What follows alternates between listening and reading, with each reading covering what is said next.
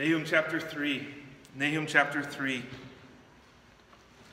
Thank you for joining me there.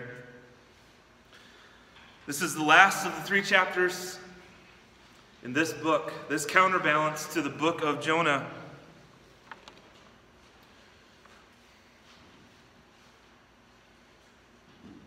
Shall we begin? World War II is considered to be the bloodiest and the biggest war in all of human history. Tens of millions of human beings, tens of millions of human beings, most of them civilians, perished. 50 million people, or maybe far more, died in a span of just about six years. World War II is often said to have started on September 1st, 1939 when Nazi Germany, following the leadership of Adolf Hitler, invaded Poland. Adolf Hitler was like a king set on conquest. He wanted to invade the lands surrounding Germany and expand the borders of his kingdom. He was ready to attack Germany's neighbors and to destroy Germany's enemies. He and those who followed him were aggressive and cruel.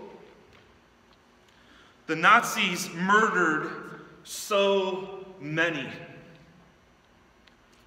They had death squads, mobile killing units called Einsatzgruppen. The Nazis would not hesitate to empty a town or some other place of its Jewish people and then murder them. Sometimes the victims were forced to dig their own graves. Sometimes the victims were forced to undress themselves and put their shoes and their clothes into separate piles before they were shot to death. Over 10,000 could be killed in just one day.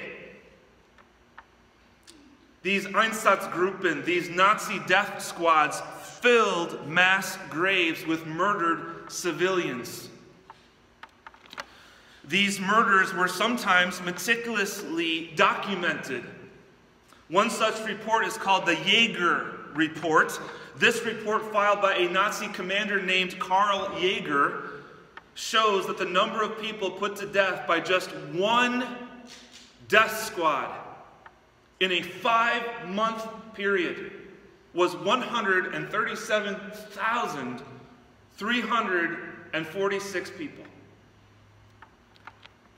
So, following five plus years of such bloodthirsty behavior, of such mass executions, not to mention the concentration camps, I'm sure that we can all imagine that the fall of the Fuhrer, the Nazi dictator Adolf Hitler, and his Nazi German kingdom, with the city of Berlin as its capital, that the end of that kingdom must have been, must have been a great relief to all who had felt their cruelty, who had endured their terror and yet somehow survived. And let us recall the fall of the Fuhrer. At noon on April 30th, 1945, Hitler was in the city of Berlin. He and others were hunkered down in the bunker. At noon, Hitler was informed that the Russians were only a block away. At 2 o'clock in the afternoon, Hitler ate his last meal, and at 3.30, he was found dead. Nazi Germany's king was dead. Nazi Germany's capital was crushed, and that kingdom was, had collapsed. Ruin and rubble, that is what was left. About a week later, on Monday, May 7th, 1945, the remaining Nazi leadership signed an unconditional surrender document. And Winston Churchill said that the downfall of Nazi Germany, as seen in this unconditional surrender, was, quote, the signal for the greatest outburst of joy in the history of mankind. When Germany finally surrendered, Winston Churchill said, That was the signal for the greatest outburst of joy in the history of humanity. Huge crowds of relieved and happy people filled the streets of London, Paris, New York, and Moscow. One historian has written For Jews and others who had been targeted by Nazis, a great sense of relief was felt at, at outlasting Hitler. One woman who survived the final solution that was the Nazis' plan to exterminate all Jews, one woman who survived that said, quote, during the five terrible war years, we could not indulge in simple pleasures that life offers to normal people. All of our efforts were directed towards fighting the enemy and surviving. Now, for the first time since September 1st, 1939, we could unwind and be normal again. To walk the streets without hearing the hated halt without the fear of being rounded up by Germans and pushed into military trucks. This survivor said, No more ghettos, no more starvation, typhus, gas chambers, Einsatzgruppen. The intense fear and persecution were over. What happened in Europe in 1945? The utter ruin of the Nazi regime is a modern era historical illustration of an ancient historical event. What happened in Europe in 1945 illustrates for us what happened in Assyria in 612 BC. The Nazis deserved to die. The destruction of Nazi Germany was completely deserved. It was fitting for it to end in ruins. And it was good news, good news for those who had suffered at the merciless hands of the Nazis. It was a cause for celebration. It brought indescribable relief. It put tears of joy in people's eyes. It put smiles on people's faces, even concentration camp victims. If they had the strength, were smiling.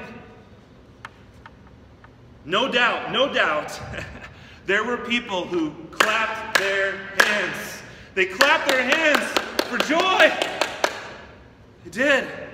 When they heard about it, when they heard the ruin, heard of the ruin of the Nazi regime.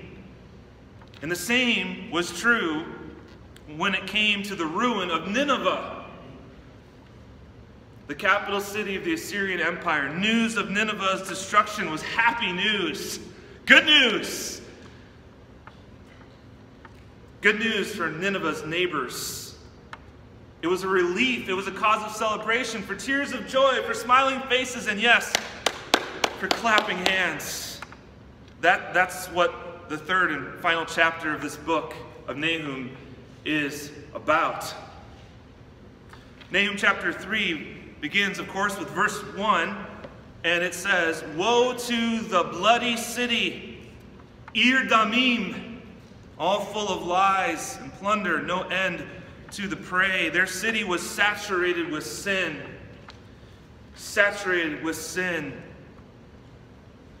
We read of lies and plunder and prey, and the city is labeled as a city of bloods, plural, the bloody city.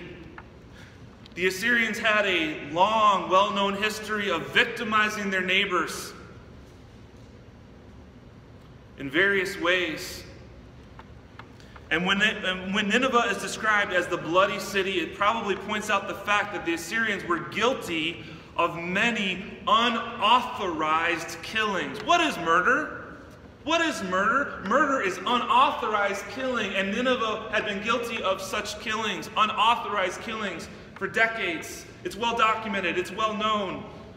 It certainly was for their neighbors, their victims. They were guilty of so much unnecessary, unwarranted shedding, spilling of people's bloods. Blood. The plundering was also mentioned back in chapter 2, verse 2. The Prey is also described at the end of chapter 2, verse 12. It's a sin saturated city. It's been that way for a long, long time. Secondly, in verses 2 and 3, we see that their punishment fits the crime. The prescribed punishment fits the crime. God is not unjust. It says in verses 2 and 3 the crack of the whip, rumble of the wheel, galloping horse, bounding chariot, horsemen charging, flashing sword, glittering spear, hosts of slain, heaps of corpses, dead bodies without end. They stumble over the bodies. You see, the Assyrians had been piling up bodies for a long, long time. They've been piling up corpses for decades, not to mention the piling up of decapitated heads or the hanging up of decapitated heads. This was their history. One, one of the kings bragged about taking the flesh of their enemies and feeding them to dogs, pigs, vultures, and others. They would skin their enemies, they would do all kinds of things with their victims.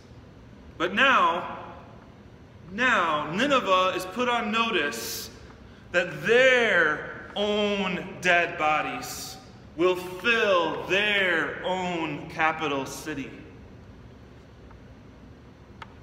And the punishment fits the crime. I read that many unburied skeletons were found by archaeologists as they dug into what remains of Nineveh. In verse 4, we have their past pictured as the past of a prostitute. Their past is pictured that way. Verse 4 and why? Why? All for the countless whorings of the prostitute. Graceful and deadly are her charms, who betrays nations with her whorings and peoples with her charms. So, Nineveh's crimes are further described by way of a metaphor. Real life prostitutes are deceptive. Why is that? Why is the industry of prostitution deceptive? Because they advertise pleasure and they deliver death. And what's true of the prostitution industry is also true of the porn industry. They advertise pleasure, but you can know this for certain they will deliver you death. When we were in Florida, we avoided the tolls as much as we could using the GPS. You know, you can click the box, avoid tolls. And when you avoid the tolls, you end up going through lots of different places that maybe most tourists don't go through. And I saw lots of establishments offering pleasure. And in my mind, I put labels on all those signs that said, death, death, death. You want to sell me something, you think it's going you're telling me it's going to bring me pleasure. I know what it will bring me. It will bring me death. So says Proverbs chapter 7 and other passages in God's word. The pleasure is what's presented. That's what makes the advertisement. But that pleasure, it won't last. And some of you know this all too well. Unfortunately, you've gone down that road. Oh, not with prostitutes, probably.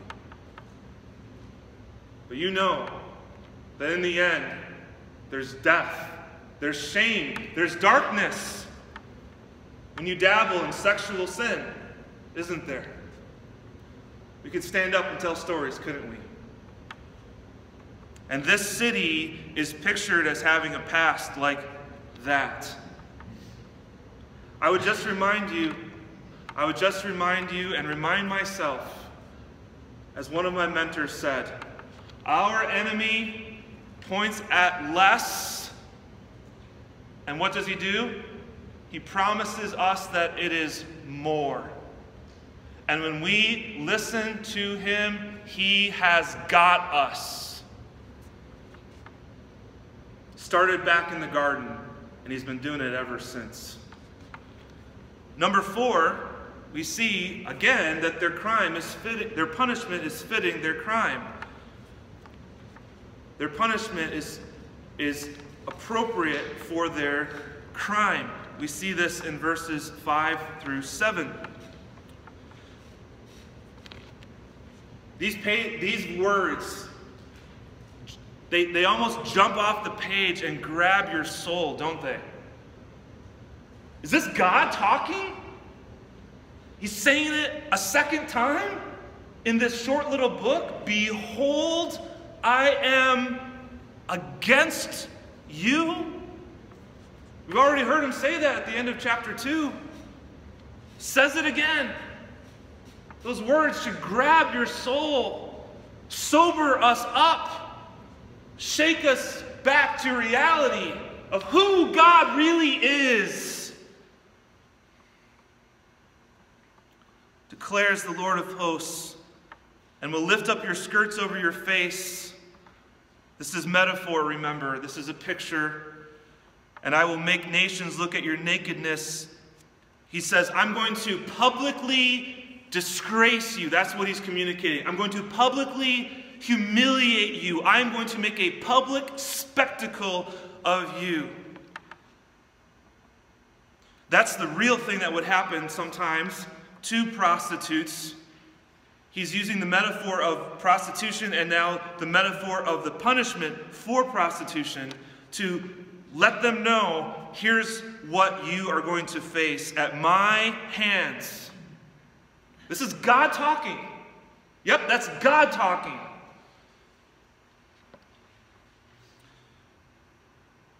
Kingdoms at your shame. Verse 6 I will throw filth at you and treat you with contempt and make you a spectacle, and all who look at you will shrink from you and say, Wasted is Nineveh.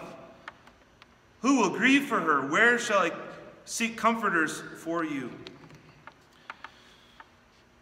They will be publicly disgraced, and it is what they deserve. You and I never need to worry. We never need to worry about this that God is going to do something unjust to his enemies. Never got to worry about that. Never got to worry that God's going to go too far. Be too heavy. He's going to be heavy handed. He, he's going he's to, he's to punish them too much. Never got to worry about that. His punishment, his, his wrath always comes again at the right time, in the right measure, against the right recipients. This is what they deserve. See also Revelation 16.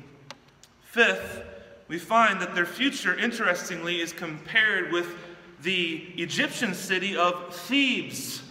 Thebes. We find this in verses 8 through 11. Are you better than Thebes?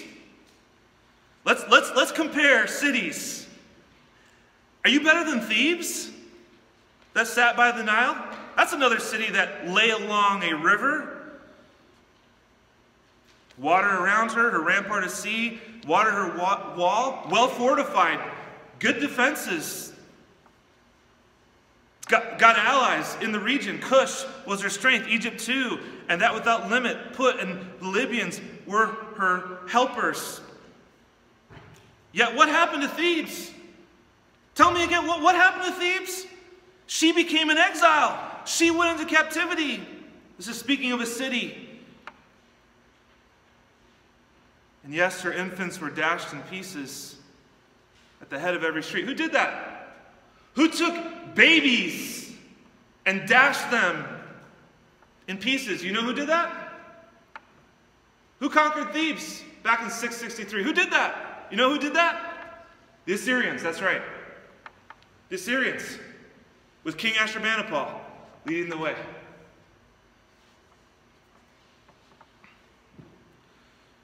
For her honored men were, lots were cast, and all her great men were bound in chains. You also, you also. Remember what happened in Thebes? You also will be drunken. Again, this is metaphor. This is metaphor. You will go into hiding you will seek a refuge from the enemy. 663, the Assyrians came to that strong city in southern, that is upper, I know, it's confusing, southern Egypt, located along the Nile River. They had fortifications, but Thebes had fallen. They had friends, allies in the area, but Thebes had fallen. And it was a violent and devastating fall. By the way, I find it interesting that the same Assyrian king, Ashurbanipal, was reported to have put a dog chain, a dog chain through the jaw of a king whom he, whom he defeated, and then he placed that king in a dog kennel. That, that's who we're dealing with. That's who we're dealing with. That's who this is written against. The Lord lets Nineveh know a city, a great city, a strong city located along a different river, that is the Tigris. He lets them know that their fate will be similar to the fate of Thebes. And about 550 years later, excuse me, not 500, about 50, if I can do math, 663 minus 612. About 50 years later, that's exactly what happened. Don't ask me to do your math homework for you. All right, number six, their, their defenses, easy to overcome. Easy to overcome. Verses 12 through 13.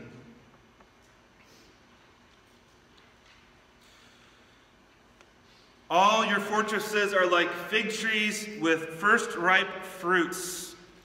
I don't know a lot about figs or fig trees, but I guess if you give a good shake to a fig tree with first ripe fruits, the figs just drop in your mouth. Easy pickings. Behold, your troops are women in your midst. The gates of your land are wide open to your enemies. Fire has devoured your bars. Their fortresses, their warriors, their gates, and the bars of their gates, that's what the bars are about, the bars of their gates, would not be strong enough to resist the invading forces when they arrived. Now, the ladies in the room, my, my female listeners in the room, when it says, Behold, your troops are women in your midst, that is not a slam against women. we can just acknowledge that generally, Women are physically weaker than men. And historically, it's men who go to combat. Historically, we don't send women to the front lines. Historically, it's men who serve in combat. And generally speaking, women are physically weaker than men. So please don't be offended by verse 13, ladies. He's saying, You're, you're going to be overcome you're going to be easy pickings for the enemy when he shows up at your door. Number seven, their resistance, futile. Futile against the fire and the sword. We've got, we've got more picturesque language here. The fire and the sword are personified in these verses, verses 14 through 18. Draw water for the siege. Strengthen your forts. Do what you can. Go into the clay. Tread the mortar. Take hold of the brick mold. Try to fortify yourself. Fortify your city. There will the fire devour you, consume you, and the sword will cut you off. It will consume you. It will devour you like the locust. Multiply yourselves like the locust. Multiply like the grasshopper. You increase your merchants more than the stars of the heavens. The locust spreads its wings and flies away. Your princes are like grasshoppers, your scribes like clouds of locusts settling on the fences in a day of cold. When the sun rises, they fly away. No one knows where they are. Your shepherds are asleep. This may be a reference to the, to the other leaders of Assyria below the king of Assyria. They're asleep. What kind of sleep is that? Maybe that's a reference to death. Your nobles slumber. Your people are scattered on the mountains with none to gather them. Notice in verse 18, the king of Assyria is directly addressed, isn't he? And so, putting it all together, this book, Nahum, is not just addressed to a city, it's also addressed to a people and to the leader of that people, the king of Assyria. Fire and swords, back in the 7th century, the 600s BC, those were common weapons. The fire and the sword are personified as consuming the city and its citizens. And archaeologists, as I've already said, they have, they have discovered unburied, many unburied skeletons and evidence of fire in that city. Many people were slaughtered or scattered, and the city was burned when it was conquered in 612 BC, just as God said. Lastly, their wound, fatal. Fatal. No possibility of recovery. They're not going to make a comeback after this.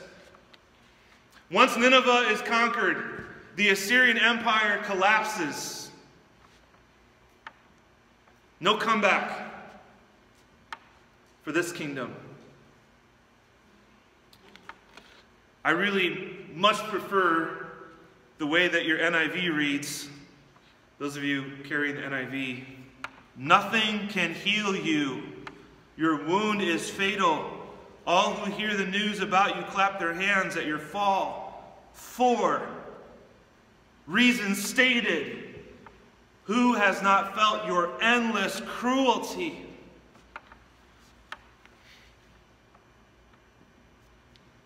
That sounds like something that a Holocaust survivor could say, don't you think? Someone who lived through the reign of terror of Adolf Hitler and his mobile killing squad, somebody who suffered in a concentration camp. Endless cruelty. That's what we felt. That's what we've suffered. My Bible says there's no easing your hurt You won't recover from this. Your wound is grievous. All who hear the news about you clap their hands over you, for upon whom has not come your unceasing evil. Joyful clapping, joyful clapping of the hands will be heard from those who have suffered at the cruel hands of the Assyrians. Those who have felt the Assyrians' cruelty, they are going to be filled with relief, filled with joy. Tears in the eyes, smiles on the faces, the clapping of the hands. What, the, what did you say? What was that? Nineveh has been conquered? Assyria has collapsed? What was that? Oh, praise God! Praise the Lord!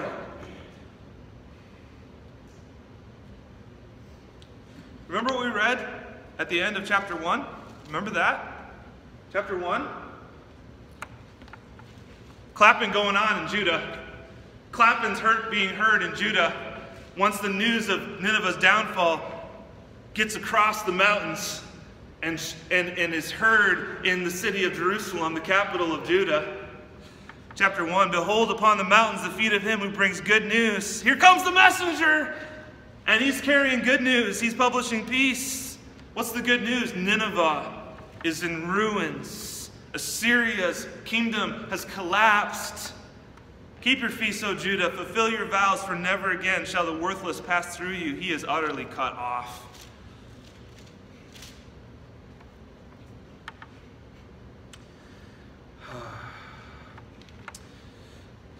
Assyria's unceasing evil was finally stopped by the sovereign God who was against them. Yes, I know I know that it was Babylonians and Medes and whoever else, coalition forces that came. But God was ultimately behind those forces. God is sovereign. God is sovereign over global affairs. Their unceasing evil ultimately was stopped by the God who is always in control. You know, if you had been a neighbor of Nineveh, if you'd been living in Jerusalem or some other part of that little holdout kingdom of Judah, you know, that island swimming in a sea of Assyrian oppression. If you've been one of those people, one of those who had felt the cruelty of the Assyrians, it would, I think, it'd be extremely easy to start wondering, to start thinking that God is, he's distant. He's, he's really not interested in what's going on here. It, it'd be easy to start thinking that he's unaware or unconcerned. Or maybe he's just unable to do anything. Poor God can't get it together. Can't find the resources to come to our rescue, I guess. He knows what's happening, you know, he cares, he's got sympathy for us, but I guess I guess just doesn't doesn't have the power to get it done. Be easy to think that way, wouldn't it? As the days and the weeks and the months and the years and the decades tick by, guess God doesn't know or doesn't care or is just not able to help us out. That was never true. And it's not true when it comes to what you're going through, is it? If you're here today and you're feeling like, I'm, you know, I'm really not sure God really understands what I'm suffering, I, or maybe He really doesn't care that much, or, you know, He's a sympathetic friend, but He really can't help me out. It's not true. It's never been true. Well, as we come to the end of this short book, don't close your Bible yet, okay? Don't close your Bible. I know the notes are all completed, and, and you can see the pastor's landing the plane, but please don't close your Bible yet because we're not quite done. Because we don't want to just study the Bible and say, wow, look at that. I have learned more. I, I have stuffed more data into my Nahum file in my mental file cabinet. Let's pray. No, no, we got to say even more. So what what does this have to do with us? So what? we're not living in Judah. We're not we're not neighbors of Nineveh. What does this say to us? What does God, what does God want us to take home with us? What's our takeaway? How's the Holy Spirit working here? Well, I think one thing that we can all agree on, one thing that we should all be clear about, is that the Lord is a jealous and avenging God. I mean, right out of the gate. How many times is it said? Avenging God, avenging and wrathful, takes vengeance. I guess he's avenging. I guess he takes vengeance. I get that impression. Do you get that? I get that impression. And he's jealous with a perfect jealousy, not a control freak jealousy, not the green eyed monster jealousy, not the checking the wife's odometer when she comes home or reading through all her text messages jealousy. He is passionate. He is zealous about his own glory and about his own people. Oh, how he loves you! He loves you more than you know.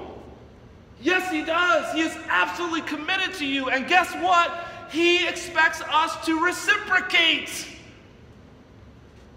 He wants us to be committed to Him. Our affections, our loyalty, our allegiance to go back to Him.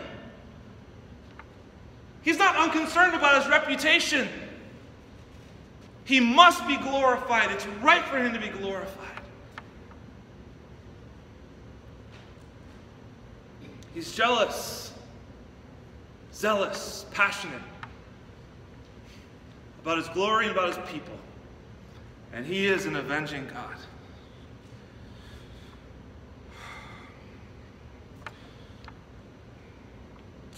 If you look at verse 8 of chapter 1, it says, With an overflowing flood,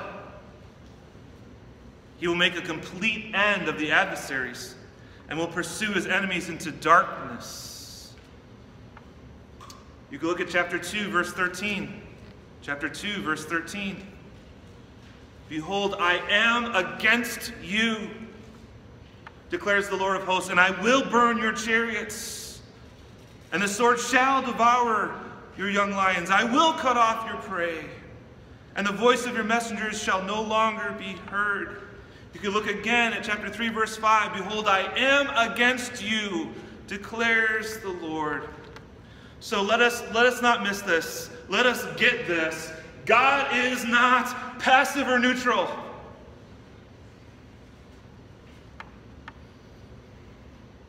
Oh, it might feel that way.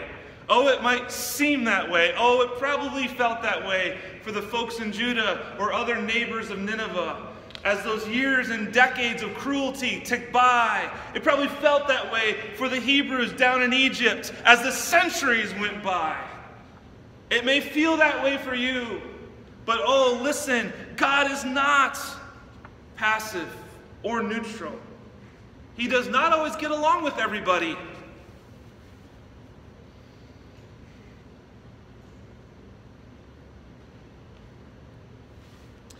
In other words, God does have enemies. Oh, here's your last blanks. There you go. Okay. Still, don't close your Bible yet. Okay. Here are the final blanks for those of you taking notes. God does have enemies whom he will ruin if they will not repent.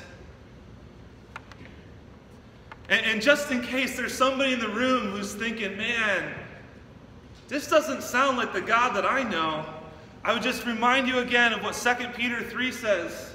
He is not, not willing that any should perish, but that all should come to repentance. Do you remember what a different king of Assyria said about a hundred or more years earlier? What did this other king of Assyria say? Not in Nahum chapter 3, but in Jonah chapter 3. What, what did that king of Assyria say? Well, here's what he said. The word reached the king of Nineveh, Jonah 3, verse 6. The, the word, what word? The word from Jonah, the reluctant prophet, who was sent by God to this wicked city with a message which equaled a loving warning. An opportunity was on the table for them to repent, to turn from their evil, to believe in Him and be spared. That word, that message, it reached the ears of the king of Nineveh a hundred or so years earlier than what we've got in Nahum 3. And what did the king do? Did he scoff? Did he say, meh, whatever? No.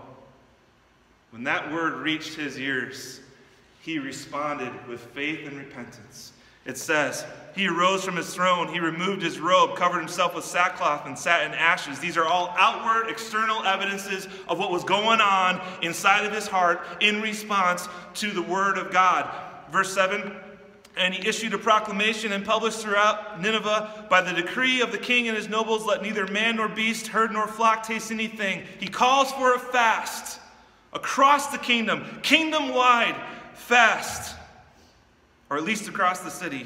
Let them not feed or drink water, but let man and beast be covered with sackcloth, and let them call out mightily to God. Let everyone turn. That's repentance. Turn from his evil way and from the violence that is in his hands. And then comes the question in verse 9 from the lips of a king, a good century or so earlier. The question, verse 9 Who knows? I love that. Oh, that speaks of humility. Do you see the humility there? This king is not presumptuous. Do you see that there in verse 9? Do you see that? This king is not presumptuous when it comes to his relationship with God at this moment because he says, maybe, maybe, perhaps, perhaps, who knows, God may turn and relent and turn from his fierce anger so that we may not perish. So, what does the king do? He calls for a fast, he calls for his people to repent in response to the word of God. And he, he's, he's thinking, maybe, maybe God will turn his wrath away from our city. Maybe God will relent if we will repent. And what did God do? Did God destroy Nineveh? Is that what happened? No.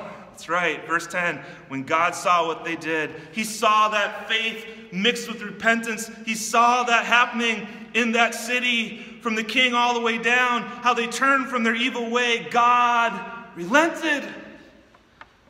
No fire fell. No angel came and destroyed. No army invaded. Hmm. He relented, yes, he did, of the disaster that he had said he would do to them, and he did not do it. Oh.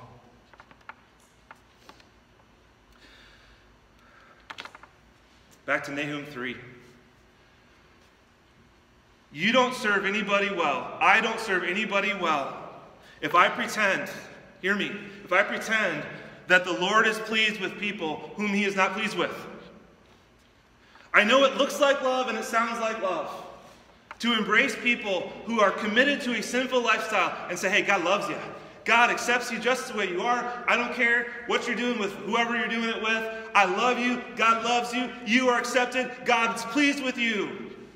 When God, in essence, would look at those people who are locked into their sin, who are absolutely committed to their evil, and say to them, I do not accept you. I am against you. But that same God would also say, I will forgive you. I will pardon you. I will accept you if you will accept my son.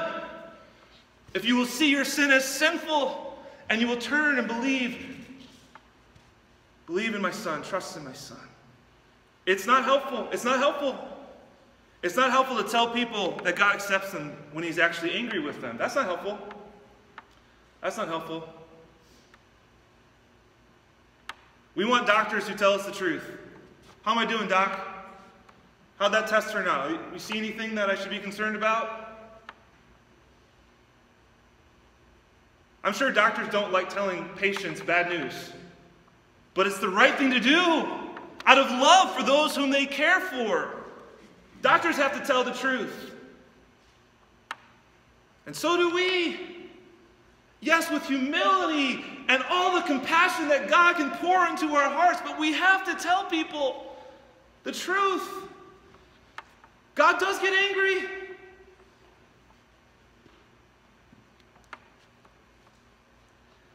We have to warn them of God's wrath against them because of their sin against Him, and it's, it's real, and we have to urge them to take refuge in the Lord Jesus Christ while they still can. The Lord is not to be ignored.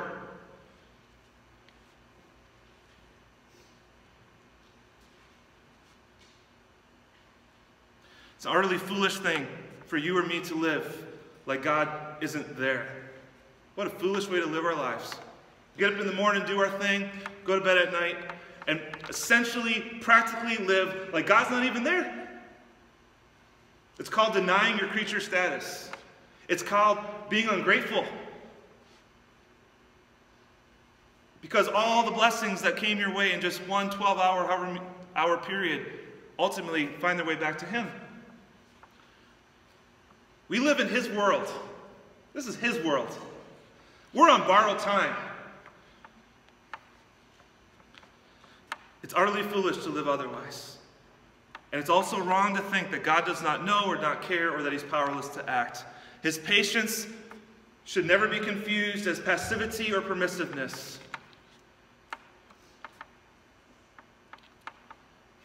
I was at a gas station on Friday nights buying energy drinks. I will turn that receipt in, honey. They were only 99 cents. And uh, I was waiting in line behind a young man, must have been at least 18, because he told the guy behind the counter, behind the plexiglass, that he, he wasn't really sure what he was going to do. He was going to blank, use explicative. And he might go to the club. Oh, what club is that? I only know of one club in Carroll, Iowa that young men would frequent. And maybe that man went to the club on Friday night. Who knows what that man did Friday night? And he went to bed and he got up Saturday morning and maybe he did it all over again. That man would be a fool to think because God allowed him to go his own way and do his own thing, God must not care. God's, God's, God's, you know, he just, he's just the old man upstairs nodding and winking and, you know, it's all right. You know, kids will be kids. Men will be men. No, not at all. God's not passive and he certainly is not permissive. Oh, but he's patient. He's patient. And he's not just patient with his enemies, he's patient with you. And aren't we thankful? He will move, he will avenge, he will make sure that justice is served. It's a delusion, it's wishful thinking to think otherwise. And this is why we treasure, this is why we treasure Nahum 1, verse 7. This is why we treasure Nahum chapter 1, verse 7. That the Lord is good, a stronghold, a refuge in the day of trouble. He knows those who take refuge in him. We treasure that verse. As sinners who deserve his wrath, who once were his adversaries, once were his enemies, but have now been reconciled to him, restored to him through the cross of Christ and his resurrection by grace alone, through faith alone, in Christ alone. We treasure that verse. And we tell others what we find there. We don't keep it to ourselves, we share it. We all need a refuge, and we have one. He's the Lord. He's specifically the Lord Jesus Christ. And that's why we can sing, I'd rather have Jesus than anything. What you got for sale? What you advertising? I'll, I'll take Jesus over that. Because he's my refuge. Is he your refuge?